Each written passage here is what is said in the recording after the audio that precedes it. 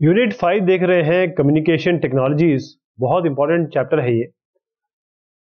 जो पहला चैप्टर है नेटवर्किंग कॉन्सेप्ट से शुरुआत करते हैं। नेटवर्किंग कॉन्सेप्ट पहला पार्ट देख रहे हैं इसका। इसमें हम जो जानना चाहेंगे, वो ये है कि नेटवर्क क्या है और नेटवर्क की ज़रूरत क्यों पड़ी? फिर एवोल्यूशन देखेंगे नेटवर्किंग का इंटरनेट का, फिर इंटर स्पेस का। और फिर से हम देखेंगे कि इसकी रिक्वायरमेंट क्या है। ज़रूरत क्या है? इसकी नीड क्या थी? अलग चीज़ है। और अब रिक्वायरमेंट क्या है? फिर हम जानने की कोशिश करेंगे अलग अलग जो टेक्नोलॉजीज़ हैं कम्युनिकेशन में, जैसे नोड्स हो गए, जैसे वर्क स्टेशन है सर्वर है डेडिकेटेड या नॉन डेडिकेटेड ऐसी नेटवर्क इंटरफेस यूनिट एनआईयू के बारे में जानेंगे। और फिर जो स्विचिंग टेक्निक्स है सर्किट स्विचिंग पैकेट स्विचिंग के बारे में देखेंगे, जो नेटवर्क्स हैं पैन लैन वैन और मैन के बारे में भी जानेंगे।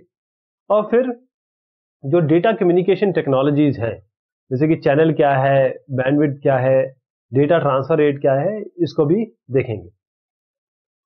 तो कम्युनिकेशन का मतलब होता है बातचीत, यानी कि आप जब आप किसी से बात करते हैं तो क्या करते हैं? साउंड वेव्स के थ्रू मतलब एक मीडियम है आपका अनगाइडेड मीडियम है, और उसके थ्रू आप अपनी साउंड वेव्स पहुंचाते हैं दूसरे के कान तक। तो यही कम्युनिकेशन हर जगह है।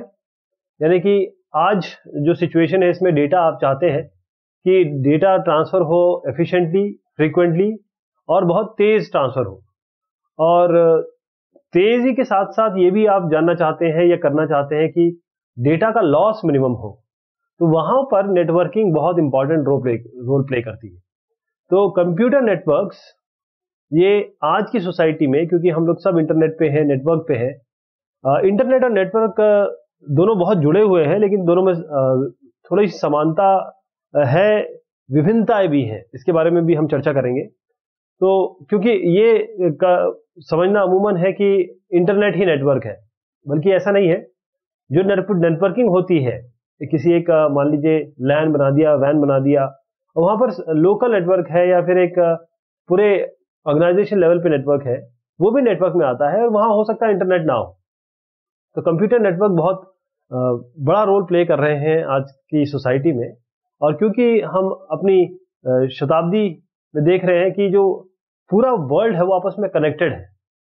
कंप्यूटर मर्ज है और कैसे मर्ज है ये? क्योंकि कम्युनिकेशन टेक्नोलॉजीज़ ने आज के परस्पेक्टिव को, पहले क्या होता था कि हम, अगर किसी को हमें लेटर भी भेजना होता था तो हम एक कागज़ पे लिखते थे। वो जाता था, उसको एक हफ़्ता लगता था, फिर उनके रिप्लाई आने में एक हफ़्ता लगता था। हो सकता है उससे ज़्यादा भी हो जाए, हो सकता है लेटर लॉस्ट भी हो जाए। तो चाहे कंप्यूटर सिस्टम की बात करें, या आप अपने मोबाइल की बात करें, या पाम टॉप की बात करें टैबलेट की बात करें, सब में बहुत इंपॉर्टेंट रोल प्ले कर रहा है। जो ओल्ड मॉडल है सिंगल कंप्यूटर का, जैसे वो सर्व करता था, कोई एक ऑर्गेनाइजेशन की जो कंप्यूटेशनल नीड है, वो अब आप क्या है कि अलग अलग कंप्यूटर काम कर रहे हैं। ए, ये एक ही काम को ले रहे हैं ये इसने वन बाय थर्ड ले लिया मान लीजिए इसने वन बाय थर्ड ले लिया इसने वन बाय थर्ड ले लिया। यानी कि एक बटे तीन टाइम में ही ये तीनों काम कर दे रहे हैं और प्रोसेसिंग पावर भी इनकी डबल है। तो इस तरीके के कंप्यूटर अगर हम इनको आपस में यूँ कनेक्ट कर दें तो हम इनको कहेंगे कि ये नेटवर्क में है। तो नेटवर्क क्या है? व्हाट इज़ नेटवर्क इसके बारे में समझिए कि जो पेरिफेरल डिवाइसेस हैं आपका एक कंप्यूटर है उस कंप्यूटर में आप यूएसबी से या ओ एस टू पोर्ट से क्या कनेक्ट करते हैं? आप माउस कनेक्ट करते हैं, आप कीबोर्ड कनेक्ट कर रहे हैं, या और भी डिवाइसेस हैं जो भी आप इससे कनेक्ट कर रहे हैं। तो अगर आप अपने स्कूल की या कॉलेज की कंप्यूटर लैब को देखें तो आपने देखा होगा प्रिंटर कनेक्टेड है आपके कंप्यूटर से, जो कंप्यूटर के सारी नीड्स को सॉल्व कर रहा है। अच्छा ऐसा तो होगा नहीं कि आपके कंप्यूटर के बगल में एक प्रिंटर रखा होगा, फिर जो आपके दोस्त है उसके कंप्यूटर के बगल में प्रिंटर रखा होगा, ऐसा तो होता नहीं है। सारे सब, सबके सब जुड़े हुए हैं और सबके सब के पास एक नेटवर्क है। आप यहाँ से देंगे तो भी इसको कमांड जाएगा, आप यहाँ से देंगे तो भी इसको कमांड जाएगा। तो ये होता कैसे है? ये ऐसे होता है कि आपका कंप्यूटर और आपके कंप्यूटर्स साथ में जो आपका ये प्रिंटर है, ये एक नेटवर्क बना रहे हैं। ये इस तरीके से आपस में इंटरकनेक्टेड है ताकि आप डेटा को रिसीव कर सकते हैं सेंड कर सकते हैं। आप इस कंप्यूटर से डेटा रिसीव कर सकते हैं, इस प्रिंटर पे डेटा भेज सकते हैं। तो हम ये कह सकते हैं कि दो कंप्यूटर इंटरकनेक्टेड है और अगर वो इंटरकनेक्टेड है तो वो आपस में डेटा का आदान प्रदान कर सकते हैं, यानी कि इंफॉर्मेशन का एक्सचेंज कर सकते हैं। एक नेटवर्क कलेक्शन है अलग अलग कंप्यूटर का, ये इंडिपेंडेंट भी हो सकते हैं, जो आपस में कम्युनिकेट कर रहे हैं किसी शेयर्ड नेटवर्क मीडियम से। या अगर थोड़े हल्के शब्दों में इसको सिंपल टर्म में बताने की कोशिश करूँ तो कंप्यूटर नेटवर्क कलेक्शन है दो या दो से अधिक आपके कंप्यूटर्स का। अच्छा ये कंप्यूटर्स भी हो सकते हैं। कंप्यूटर हम बोल रहे हैं तो आप इसको ऐसे मत समझिएगा कि ये पीसी रखा हुआ है कोई, या लैपटॉप रखा हुआ है। इसको बोलिए कंप्यूटिंग डिवाइस ज़रूरी नहीं है कि कंप्यूटर ही हो कंप्यूटिंग डिवाइस ये आपस में एक लिंक्ड है। ये किस लिए लिंक्ड है? क्योंकि वो आपस में इंफॉर्मेशन शेयर करना चाहते हैं या रिसोर्स शेयर करना चाहते हैं। तो जब ये कंप्यूटर आपने नेटवर्क में लगा दिए तो अब जितने भी लोग इससे कनेक्टेड हैं वो फ़ाइल शेयर कर सकते हैं। पेरिफेरल्स शेयर कर सकते हैं, जैसे कि मैंने बताया प्रिंटर प्रिंटर एक है, लेकिन सब लोग इसमें प्रिंटिंग कर रहे हैं। मॉडर्म है बैकअप ड्राइव्स है या सी डी रॉम ड्राइव्स है।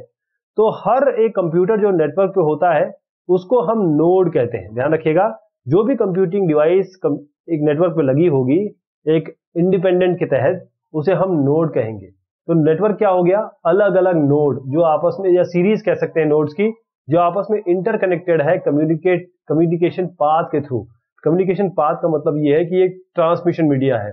अब देखिए, मैं इसको ट्रांसमिशन मीडिया को दो तरीके से बांट दूँगा।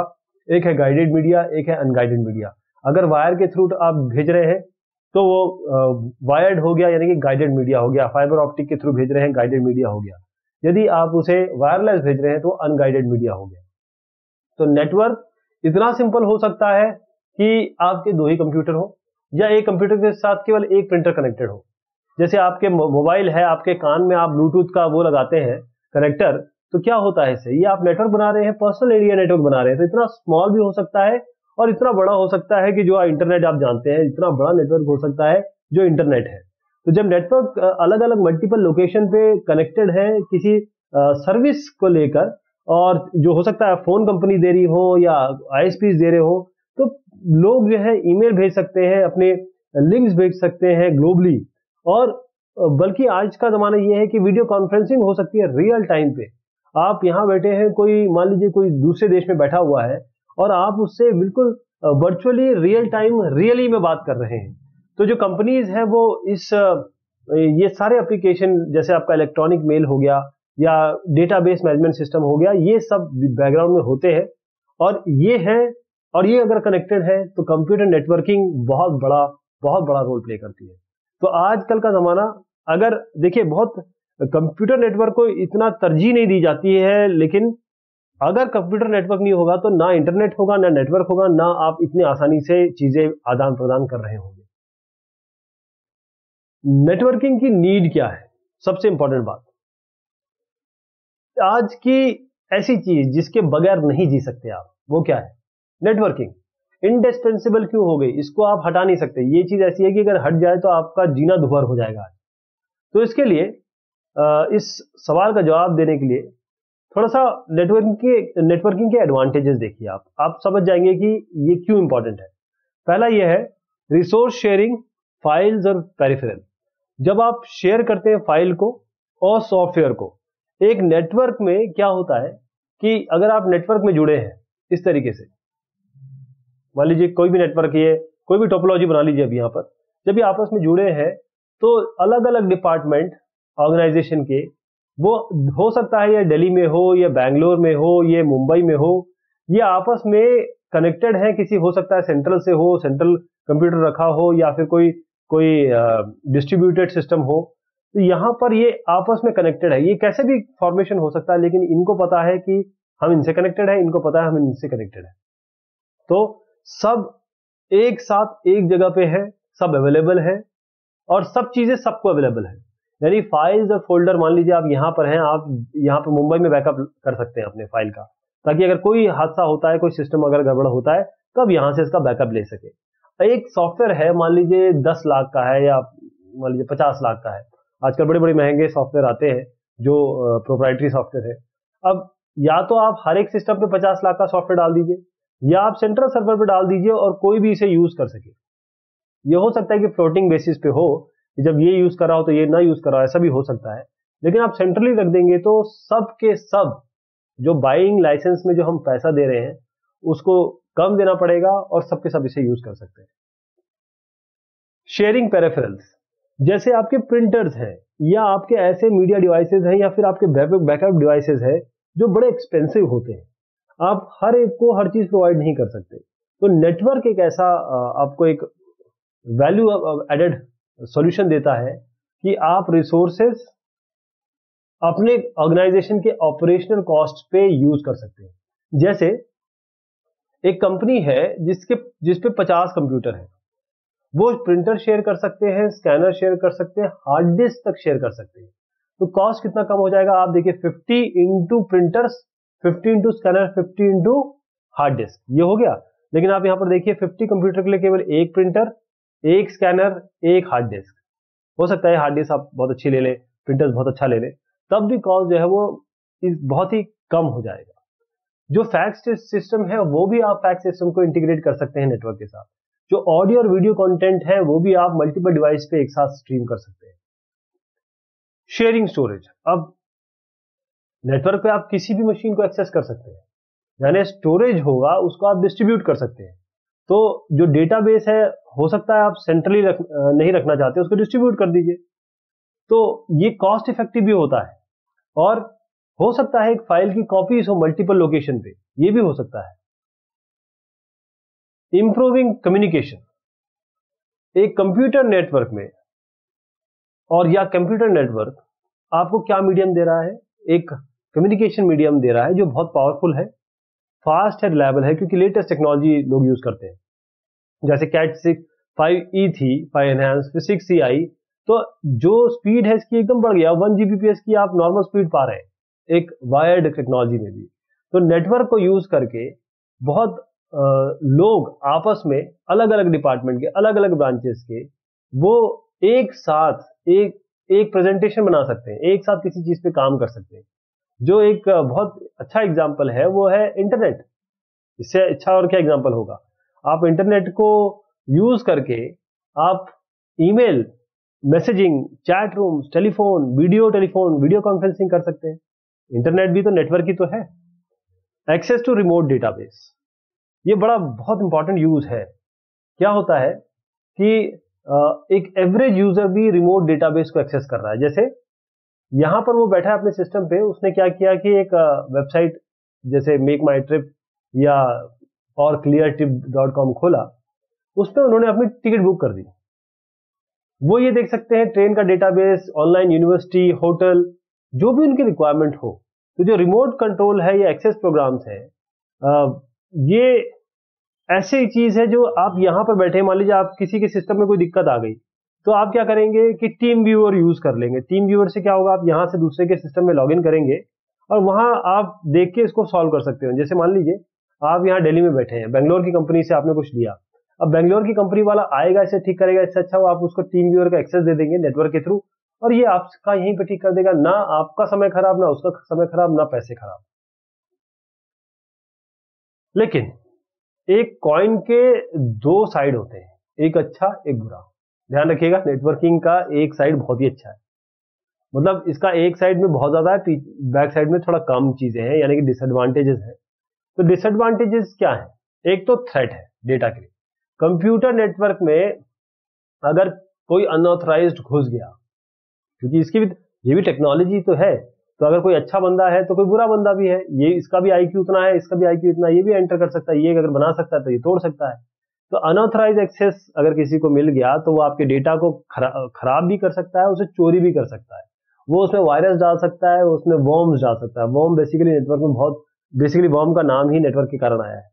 और जो फ़ाइल सिक्योरिटी है बहुत हद तक जब वाइड एरिया नेटवर्क पर हम जाते हैं तब हमको बहुत ध्यान रखना पड़ता है। अच्छा नेटवर्क की इतनी अच्छी बात तो होगी सब कुछ अच्छा अच्छा हो गया। लेकिन आपको पता है इंटरनेट कैसे डेवलप हुआ? कहाँ से शुरू हुआ था आरपानेट से और कैसे वो आज इंटरनेट इंटरनेट तक पहुँचा है।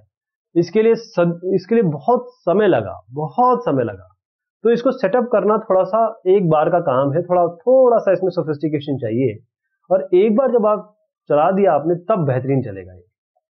ओके तो बड़े जो नेटवर्क हैं काफ़ी कॉस्टली होते हैं इसको सेटअप करना और इसका मेंटेनेंस भी करना होता है। ऐसा नहीं कि नेटवर्क लगा दिया छोड़ दिया। हो सकता है एक स्विच काम ना कर रहा हो एक बीच में कोई नोड खराब हो गया हो। तो थोड़ा आपको स्पेशलिस्ट आदमी चाहिए। तो इसके लिए नेटवर्क एडमिनिस्ट्रेटर्स होते हैं नेटवर्क एनालिस्ट होते हैं। नेटवर्किंग की शुरुआत कहाँ से हुई? बल्कि हम इसमें थोड़ा सा इंटरनेट का टच भी देंगे। तो नेटवर्किंग स्टार्ट हुई 1969 में। इस समय कंप्यूटर बहुत ही तेज़ी से बढ़ रहा था। उसका यू एक्सपोनेंशियल ग्रोथ हो रहा था। जब ये वीएलएसआई जब आया मतलब इंटीग्रेटेड सर्किट की बात हो रही है तो किस तरीके से प्रोसेसर्स की स्पीड बड़ी स्टोरेज डिवाइस में उत्पत्ति हुई? तो 1969 में पहला नेटवर्क आरपा नेट नाम से डेवलप हुआ। हो सकता है कहीं और भी डेवलप हुआ, जो चीज़ नोटेड है या फिर आपके उसमें है लिटरेचर में है, उसके बारे में बात करते हैं। हो सकता है किसी जगह पे इससे भी पहले हो गया हो। तो जो यूएस डिपार्टमेंट ऑफ़ डिफेंस है, उन्होंने एक प्रोजेक्ट को स्पॉन्सर किया आरपानेट आरपानेट का फुल फॉर्म था। Advance research project agency network उसका काम ये था कि जो अलग अलग यूनिवर्सिटी है, उसको यूएस डिफेंस के साथ कनेक्ट कर दिया जाए। तो जो इंजीनियर्स हैं स्टूडेंट्स हैं साइंटिस्ट हैं रिसर्चर्स हैं, वो आपस में चीज़ें एक्सचेंज कर सके। और ये बहुत बढ़िया हुआ। लोगों ने अपना इसमें सोशलाइज होने लगे। लोगों ने इसमें गेम वेम भी शुरू कर दिया। तो आरपानेट बहुत तेज़ी से इसका डेवलपमेंट हुआ। या इसका यूसेज हुआ।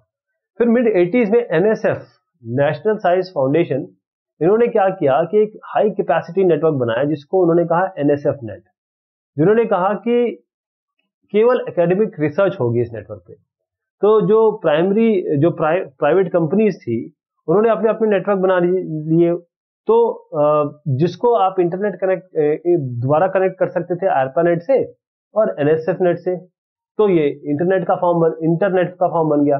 इंटरनेटवर्क इंटरनेट का मतलब इंटरनेटवर्क तो एक नेटवर्क जो अलग अलग नेटवर्क को मिलके बना तो यहाँ से शुरुआत हुई सब चीज़ों की। फिर इंटरनेट इंटरनेट क्या है? इंटरनेट अलग अलग नेटवर्क है। ये एक नेटवर्क हो गया, ये एक नेटवर्क हो गया, ऐसे हज़ारों लाखों नेटवर्क है।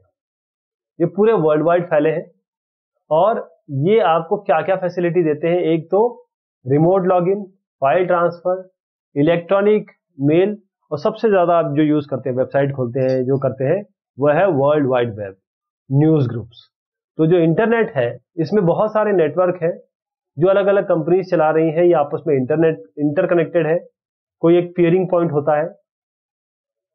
Basically internet is a network of network ये नेटवर्क अलग अलग नेटवर्क का भी एक नेटवर्क है, और पूरे विश्व में फैला है। तो जो ये जो सुपर नेटवर्क, इसे कहते हैं जाइगेंटिक नेटवर्क है, इसे सुपर नेटवर्क हम नाम देंगे। इसको हम कह सकते हैं वाइड एरिया नेटवर्क है, लेकिन ये ग्लोरीफाइड वाइड एरिया नेटवर्क है। हम वाइड एरिया के बारे में जानेंगे। तो ये क्या करता है? छोटे छोटे नेटवर्क को लेता है और उनको कनेक्ट करता है ताकि ये आपस में कम्युनिकेट कर सके। और अंडरलाइन कुछ रूल्स है रेगुलेशन है। कम्युनिकेशन के कुछ रूल्स है।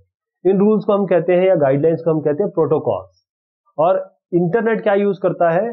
टीसीपी आईपी, यानी कि transmission control protocol, internet protocol. Program जैसे कि वेब ब्राउज़र हो गया एफ़ हो गया फ़ाइल ट्रांसफ़र प्रोटोकॉल, इसके क्लाइंट्स है, ईमेल क्लाइंट्स है, ये बहुत सारी चीज़ें हैं जिसके थ्रू इंटरनेट या इंटरनेट के यूज़र्स काम करते हैं। तो इस तरीके का जो राइज हुआ कनेक्टिविटी का तो इंटरनेट से बहुत सारे लोग कनेक्ट हो गए, मिलियंस ऑफ़ यूज़र तो इंटरनेट इनिशियली कहाँ था? केवल मिलिट्री और एकेडमिक इंस्टीट्यूशन के लिए था। लेकिन अब तो ये सबके लिए हो गया। चाहे आप इंफॉर्मेशन केवल ले रहे हो, चाहे आप ट्रेडिंग कर रहे हो कॉमर्स कर रहे हो तो इंटरनेट वेबसाइट अब आज आपको पर्सनल एजुकेशनल पॉलिटिकल इकोनॉमिक कोई भी चीज़ आप मांगे ये आपको मिलता है इंटरनेट पे। इंटरस्पेस क्या है? ये क्लाइंट सर्वर सॉफ्टवेयर प्रोग्राम है। जो अलग अलग यूज़र मल्टीपल यूज़र जो कम्युनिकेट कर सकते हैं ऑनलाइन रियल टाइम में, चाहे ऑडियो हो वीडियो हो टेक्स्ट चैट हो। और ये है डायनेमिक थ्री डी एनवायरमेंट ध्यान रखिएगा, ये है डायनेमिक थ्री डी एनवायरमेंट जिसमें ऐसा लगेगा जैसे आप रियल रियली में है रियल वर्ल्ड में बात कर रहे हैं। ये बहुत एडवांस फॉर्म है कम्युनिकेशन टेक्नोलॉजी का जो आज, जो चल रहा है। और आगे का इंटरनेट जो वाला है, वो इंटरस्पेस ही। है यानी कि अलग अलग तरीके से इंस्टेंटली मल्टीपल सोर्सेज से एक यूज़र बात कर सकता है, देख सकता है, समझ सकता है और अपनी प्रॉब्लम को सॉल्व कर सकता है। रिक्वायरमेंट क्या है नेटवर्क की? रिक्वायरमेंट हर एक नेटवर्क में क्या क्या होना चाहिए? एक नेटवर्क की क्या रिक्वायरमेंट होगी? तो कम से कम दो कंप्यूटर तो हो, अगर एक, दो कंप्यूटर नहीं होंगे, एक ही कंप्यूटर होगा तो इसको तो आप नेटवर्क नहीं कह पाएँगे। मिनिमम तो दो नेटवर्क हो, जैसे एक सर्वर हो क्लाइंट हो। इस, इन सिस्टम्स में एनआईसी कार्ड हो नेटवर्क इंटरफेस कार्ड क्योंकि जो डेटा आएगा, ये समझेगा, ये जो भेजेगा, इसके बीच में कोई ना कोई इंटरफेसिंग होगी। जो कनेक्शन मीडियम है, जैसे आप वायर कर दें अनवायर्ड कर दें वायरलेस कर दें केबल कर दें तो ये आपके जो कम्युनिकेशन मीडिया है, वो होगा। इसके बाद आपका ऑपरेटिंग सिस्टम हो गया, नेटवर्क ऑपरेटिंग सिस्टम सॉफ्टवेयर। जैसे विंडोज़ एनटी है 2000 नोवेल नेटवेयर है यूनिक्स या लिनक्स है, ये सारे आपके नेटवर्क ऑपरेटिंग सोल्यूशन देते हैं। नेटवर्क की कुछ टर्मिनोलॉजी जानते हैं कि क्या क्या शब्दों का प्रयोग होता है, जो जो कि हम लोग देखेंगे, सुनेंगे और जैसे हम सुनेंगे, हम समझेंगे। इससे पहले कि हम आगे बढ़े, जरा नोड के बारे में जानते हैं नोड्स या वर्क स्टेशन किसी भी नेटवर्क में जैसे ये नेटवर्क है यहाँ सिस्टम कनेक्टेड है। तो ये जो नेटवर्क है इस नेटवर्क में जो कंप्यूटर है या कंप्यूटिंग डिवाइस है या तो इसको आप नोड कहेंगे या इसको वर्क स्टेशन कहेंगे। जैसे ये इधर से निकल गया नेटवर्क से निकल गया तो फिर ये ये नहीं कहलाएगा नोड लेकिन जैसे ये नेटवर्क से जुड़ गया ये नोड कहलाने लगेगा। हर एक यूज़र जो नेटवर्क पे है वो एक वर्क स्टेशन की तरह काम करता है या नोड की तरह काम कर, करता है। अगर कोई नोड नहीं होगा तो नेटवर्क नहीं होगा। सर्वर क्या होंगे? अब क्या होता है कि आपके पिताजी हैं। वो आपको सर्व करते हैं। आप बोलते हैं मुझे किताबें चाहिए, मुझे गाड़ी चाहिए, मुझे आज ये खाना है। तो कौन सर्व करता है? पिताजी करते हैं। ऐसी नेटवर्क में पिताजी होते हैं, जिनको हम सर्वर कहते हैं। जो कंप्यूटर है, ऐसा सर्वर वो वो भी आदमी है, आप भी आदमी है, दोनों ही एक ही चीज़ है कंप्यूटर ही है दोनों। तो दोनों कंप्यूटर है, बस ये कंप्यूटर जो होगा, वो शेयर करता है सॉफ्टवेयर को डेटा को हार्डवेयर रिसोर्सेज को जो जिसकी थोड़ी सी परफॉर्मेंस या प्रोसेसिंग तेज होगी फास्टर होगी, और ये बाकी क्लाइंट को सर्व कर रहा होगा ओके तो ऐसा नहीं है कि एक ही सर्वर हो, एक से ज़्यादा सर्वर हो सकते हैं। हो सकता है आपके चाचा जी भी आपकी मदद कर रहे हो। तो हर एक सर्वर उसका एक यूनिक नाम होता है, जिसको हम आईपी कहेंगे या फिर इसका मैक आईडी कहेंगे या जो भी आप एक नंबर इसको, इसका माने तो वो आइडेंटिफाई करता है उस नोड को। कैसे पता चलेगा कि ये सिस्टम कौन सा है, वो सिस्टम कौन सा है? तो सर्वर का एक स्पेसिफिक वो होता है। तो सर्वर को हम दो टाइप में डिवाइड कर सकते हैं। एक डेडिकेटेड होता है, एक नॉन डेडिकेटेड सर्वर होता है। डेडिकेटेड नॉन डेडिकेटेड तो डेडिकेटेड सर्वर क्या होते हैं? ये, अगर बड़ा नेटवर्क इंस्टॉलेशन है, जहाँ पर एक कंप्यूटर को आपने रिज़र्व कर दिया कि देखिए साहब, ये केवल सर्वर का काम करेगा। तो ये सारे जितने भी नोड्स हैं इसके साथ कनेक्टेड उनको डेटा देगा सॉफ्टवेयर देगा हार्डवेयर रिसोर्सेज देगा। यानी कि केवल यही काम करेगा, केवल यही नेटवर्क में सर्व करेगा। इसको हम कहेंगे डेडिकेटेड सर्वर है। और ये मास्टर हो जाएँगे, बाकी सब स्लेव हो जाएँगे। इसको हम कहते हैं master slave network non dedicated server में मतलब ये होता है कि अगर कोई छोटा नेटवर्क है तो एक वर्क वर्क स्टेशन सर्वर की तरह काम कर सकता है। तो वो नॉन डेडिकेटेड सर्वर है। स्मॉल सर्वर में पीयर टू पीयर नेटवर्क्स होते हैं। इस, इसमें जो स्मॉल नेटवर्क होते हैं, इस तरीके के नेटवर्क जो जो सर्वर यूज़ करते हैं, उसे हम पीयर टू पीयर नेटवर्क कहते हैं। और नेटवर्क में एक से ज़्यादा सर्वर्स हो सकते हैं, जो नोड्स को बोलेंगे देखिए हम हमारे पास सामान है, आप ले सकते हैं। जैसे एक फ़ाइल सर्वर है। वो लेगा file related request printer server होगा जो प्रिंटिंग की रिक्वेस्ट लेगा, एक मॉडर्न सर्वर होगा जो मॉडर्न रिलेटेड एक्टिविटी को देखेगा। एनआईसी या एनआईयू नेटवर्क इंटरफेस यूनिट अब नेटवर्क इंटरफेस यूनिट ये एक डिवाइस होती है, बाकायदा हार्डवेयर डिवाइस होती है, जो आप नोड या वर्क स्टेशन में लगाते हैं और सर्वर में जो एक कम्युनिकेशन प्रोवाइड करेगा, एक आपका सिस्टम है, एक सर्वर है, यहाँ पर एक एनआईसी होगा, यहाँ पर एक एनआईसी होगा, जिसके थ्रू आप मीडियम ट्रांसफ़र करेंगे। तो जैसे ही एक स्टैंड अलोन कंप्यूटर वर्कस्टेशन बनता है तो उसको एक इंटरफेस चाहिए होता है ताकि वो नेटवर्क से कनेक्ट हो सके। जिसके बगैर वो कैसे नेटवर्क पे जाएगा, कैसे ट्रांसफ़र अपने रिसोर्सेज को देगा या लेगा। तो एनआईसी ये एक इंटरप्रेटर का काम करता है। इसको हम कहते हैं टैप या टर्मिनल एक्सेस पॉइंट या हम इसे कहते हैं एनआईसी या network interface card NIC network interface card तो जो एनआईसी मैन्युफैक्चर है वो इसको एक यूनिक नंबर देता है फ़िज़िकल एड्रेस देता है।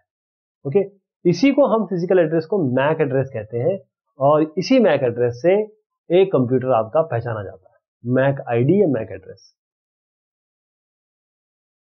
स्विचिंग की टेक्निक्स कौन कौन सी है?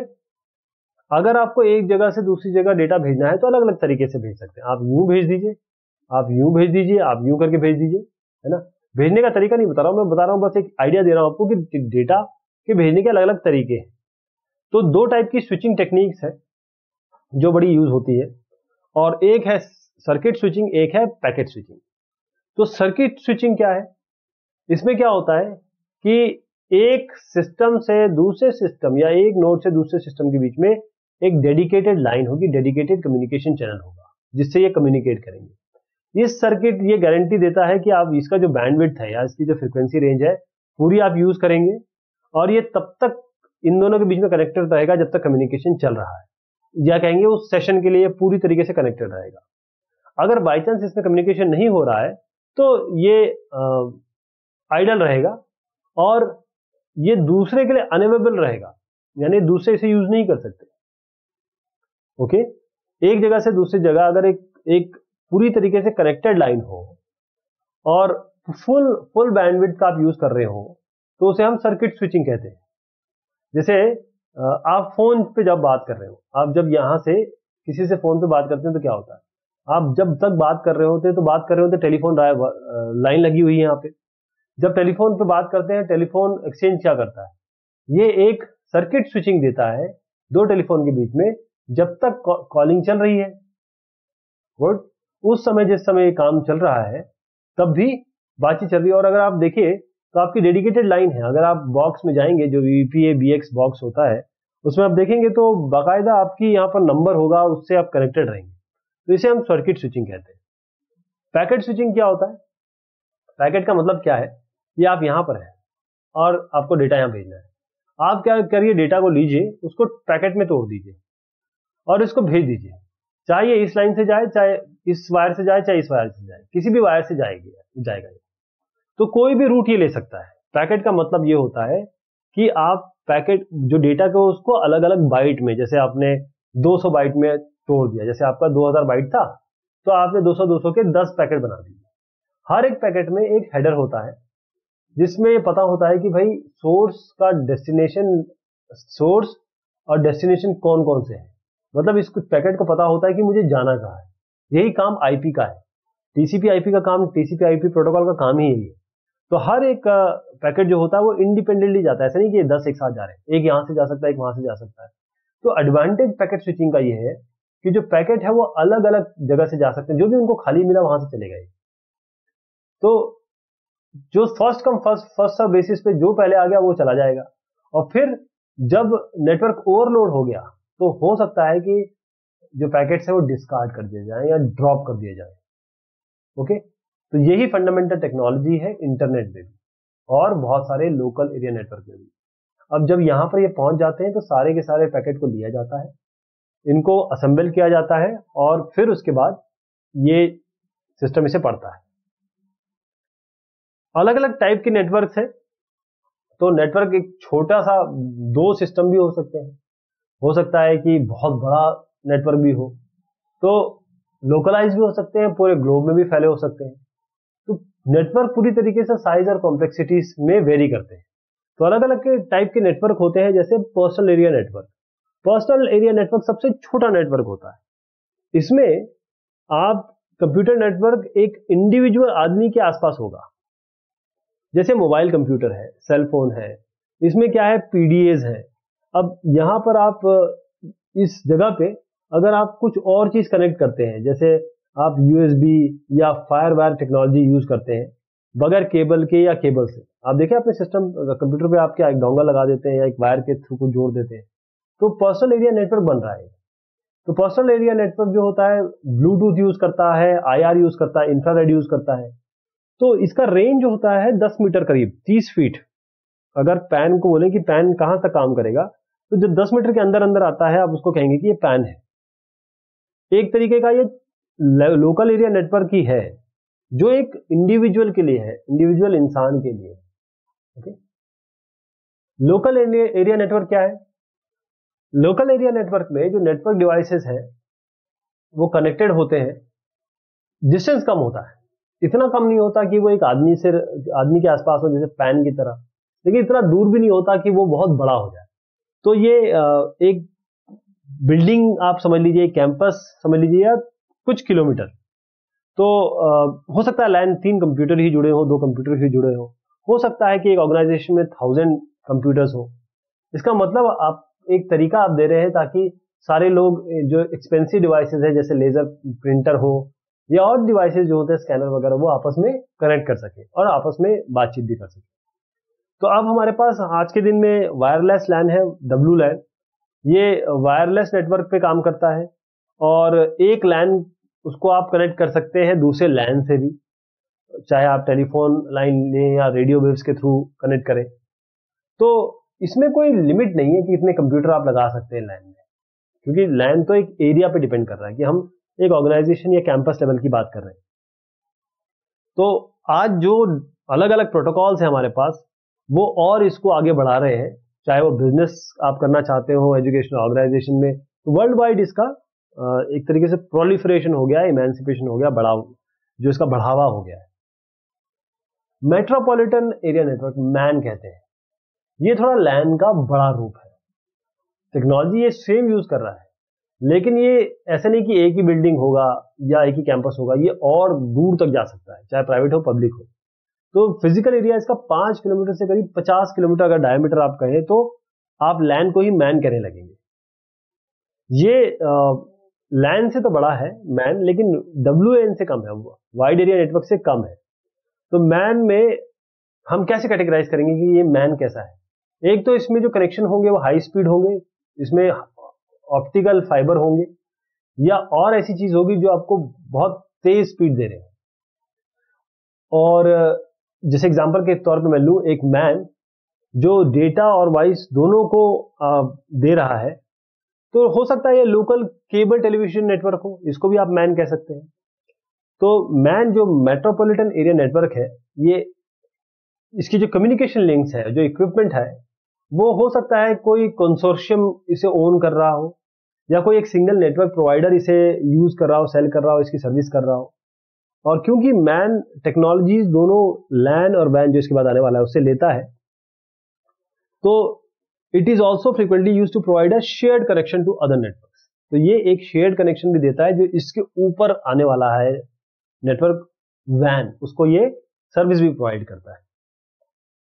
तो wide area network W N जैसे ये बता रहा है, नाम ही बता रहा है वाइड एरिया नाम ही इसका वाइड है। यानी कि ये बहुत बड़े एरिया में जोग्राफिकल एरिया में होगा, यानी कि पूरी कंट्री में या पूरी कॉन्टिनेंट में। इसमें बहुत सारे कॉमर्शियल प्राइवेट कम्युनिकेशन लाइन होंगे ताकि कंप्यूटर आपस में कनेक्टेड रहेंगे। तो वैन आपको एक तरीके से अलग अलग लैंड देता है, यानी मल्टीपल लैंड है।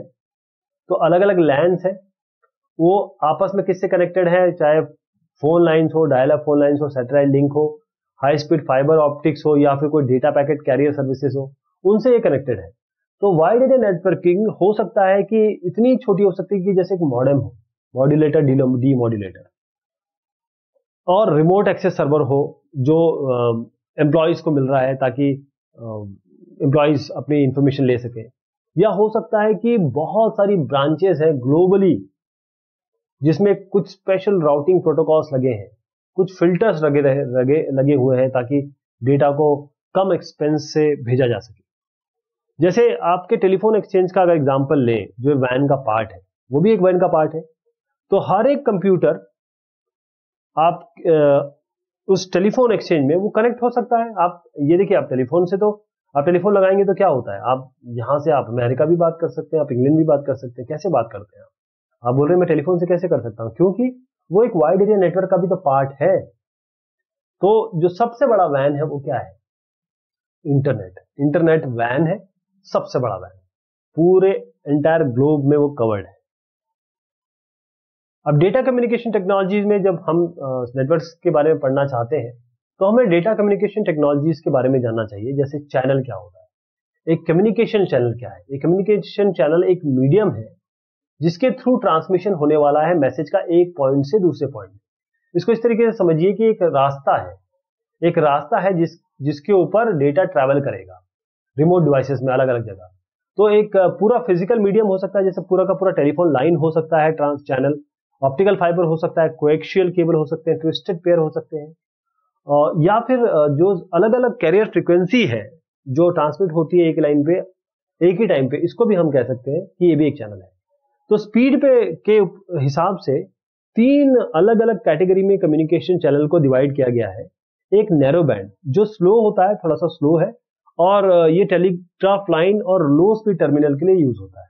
एक वॉइस बैंड है ये टेलीफोन कम्युनिकेशन के लिए और ब्रॉडबैंड आखिरी जो है, वो ब्रॉडबैंड जो सबसे फास्टेड है फास्टेस्ट है और जिसमें बहुत सारा डेटा आप एक साथ volume of data high speeds पे भेज सकते हैं। बैंडविड्थ क्या है फिर? बैंडविड्थ का मतलब सीधा मतलब होता है कि highest frequency F two minus F one highest frequency और लोअर फ्रीक्वेंसी का डिफरेंस तो इलेक्ट्रॉनिक कम्युनिकेशन में बैंडविड्थ का मतलब ये होगा कि रेंज ऑफ़ फ्रीक्वेंसी कितनी अवेलेबल है ट्रांसमिशन के लिए डेटा की। इसको हम एक्सप्रेस करते हैं क्योंकि फ्रीक्वेंसी है, इसको हम हर्ट्स में रिप्रेजेंट करते हैं। इसका मतलब सीधा है कि हाईएस्ट फ्रीक्वेंसी और लोएस्ट फ्रीक्वेंसी में डिफरेंस कितना है। जैसे मान लीजिए जो टिपिकल वॉइस सिग्नल है उसका बैंडविड्थ कितना होता है? तीन किलो हर्ट्स तो जितना ज़्यादा आपका बैंडविड्थ होगा कम्युनिकेशन सिस्टम का, उसकी उतनी ज़्यादा कैपेसिटी होगी। इसका मतलब उतना ज़्यादा डेटा उसमें से जा सकता है एक पर्टिकुलर टाइम पे। तो कंप्यूटर नेटवर्किंग में ये सब चीज़ें बहुत सारी है। और बैंडविड्थ को अमूमन इस तरीके से डेटा ट्रांसफ़र के हिसाब से जोड़ा जाता है। इसको डेटा ट्रांसफ़र बैंडविड्थ को आपस में जोड़ के बात किया जाता है। डेटा ट्रांसफ़र रेट ये जितना डेटा जा रहा है किसी टाइम पे, यानी अमाउंट ऑफ़ डेटा कितना डेटा डिजिटल फॉर्म में एक जगह से दूसरी जगह मूव हो रहा है पर यूनिट टाइम मान सकते हैं आप इसको। तो जो जितनी ज़्यादा आपकी जगह होगी, जैसे आपने अब कहा कि यहाँ पर मैंने एक पानी के लिए पाइप लगा दिया। जितना बड़ा पाइप लगाएँगे, उतना ज़्यादा पानी जाएगा। बिल्कुल बिल्कुल उसी तरीके से जितनी ज़्यादा बैंडविड्थ होगी, उतना ज़्यादा डेटा जाएगा तो उतना अच्छा डेटा ट्रांसफ़र रेट रहेगा। इसको हम थ्रूपुट भी कह रहे हैं। थ्रूपुट यानी कि जो डेटा जबकि डेटा ट्रांसफ़र रेट जो हम अप्लाई करते हैं, वो केवल डिजिटल डेटा स्ट्रीम को कर रहे हैं। लेकिन इसको थ्रूपुट भी बोल सकते हैं। डेटा रेट को हम, क्योंकि हम डेटा की बात कर रहे हैं तो बीपीएस में नापते हैं। बिट्स पर सेकंड बिट्स का मतलब होता है डेटा जो बॉड यूनिट है, जिसे हम कहते हैं एक बिट पर सेकंड इसको भी यूज़ किया जाता है, लेकिन मोस्टली इसको यूज़ किया जाता है. तो बॉड रेट बिट रेट इस तरीके से बोला जाता है. कितना तेज डेटा जा रहा है एक पॉइंट से दूसरे पॉइंट इसको हम इसी में नापते हैं. जैसे आपका आईएसपी एक इंटरनेट कनेक्शन आपको ऑफ़र कर रहा है, वो कहता है कि आपका डेटा ट्रांसफ़र रेट या आपको फोर एमबीपीएस की स्पीड मिलेगी आपको वन जीबीपीएस की स्पीड मिलेगी तो ये जो फोर एमबीपीएस वो बोल रहे हैं, वो आपको डेटा ट्रांसफ़र रेट की ही बात कर रहे हैं। तो हमने क्या देखा? नेटवर्क नेटवर्क कलेक्शन है इंडिपेंडेंट कंप्यूटर का, जो आपस में बात करते हैं किसी शेयर्ड नेटवर्क मीडियम में। नोड का मतलब एक कंप्यूटर या कंप्यूटिंग डिवाइस किसी नेटवर्क पे लगी हो। सर्वर का मतलब एक ऐसा कंप्यूटर जो जो क्लाइंट को या स्लेव्स को शेयर करेगा डेटा सॉफ्टवेयर या हार्डवेयर रिसोर्सेज एनआईसी या नेटवर्क इंटरफेस यूनिट को एक ऐसा डिवाइस है, जो सर्वर और वर्कस्टेशन या नोड के बीच में कम्युनिकेशन स्थापित करने में मदद करता है। सर्किट स्विचिंग और पैकेट स्विचिंग ये दो अलग स्विचिंग टेक्निक है कम्युनिकेशन की। इस टेक्निक में एक डेडिकेटेड लाइन होती है, यानी कि कंप्लीट फ़िज़िकल कनेक्शन होगा जब दो नोड आपस में बात कर रहे होंगे। पैकेट स्विचिंग का मतलब जब दो आपस में बात कर रहे होंगे तो ज़रूरी नहीं है कि आपस में कनेक्टेड हो। आप किसी भी कम्युनिकेशन के मीडिया के थ्रू भेज सकते हैं पैकेट को तोड़ के और ये जाके यहाँ पर जुड़ जाएगा। पर्सनल एरिया नेटवर्क का मतलब है एक सिंगल आदमी के आसपास जो नेटवर्क बन रहा है, उसे personal area network local area network का मतलब ये होता है कि थोड़ा छोटा डिस्टेंस करीबन पाँच किलोमीटर से कम तक का डिस्टेंस ये होता है दस मीटर से कम का डिस्टेंस ये पाँच किलोमीटर से कम का डिस्टेंस पाँच से पचास किलोमीटर का जो डिस्टेंस होगा, उस, उसको हम मैन या मेट्रोपोलिटन एरिया नेटवर्क कहेंगे। 50 किलोमीटर से ऊपर जो भी आएगा, उसको हम वैन कहेंगे। वाइड एरिया नेटवर्क ये कॉन्टिनेंट और कंट्री तक भी फैल सकता है। इंटरनेट ये सबसे बड़ा वैन है। इसमें सारे के सारे अलग अलग नेटवर्क है छोटे छोटे जो आपस में इंटरकनेक्टेड है। इंटरस्पेस एक क्लाइंट सर्वर सॉफ्टवेयर प्रोग्राम है जो अलग अलग यूज़र को कम्युनिकेट करने देता है रियल टाइम में ऑडियो हो चाहे वीडियो हो चाहे टेक्स्ट एक डायनेमिक थ्री डी चैनल क्या होता है? एक ऐसा मीडियम जो हम यूज़ करते हैं ट्रांसमिशन के लिए, एक पॉइंट से दूसरे में डेटा हो चाहे वॉइस हो। और जो बैंडविड्थ है, उसका मतलब है कि जो रेंज ऑफ़ फ्रिक्वेंसी यानी हाईएस्ट फ्रिक्वेंसी और लोएस्ट फ्रिक्वेंसी में जो डिफरेंस है, जितना आपके पास अवेलेबल है कि डेटा ट्रांसमिशन हो सके, उसे हम बैंडविड्थ कहते हैं। तो ये बात हुई इस चैप्टर की। बहुत शुक्रिया, बहुत मेहरबानी आप सभी की।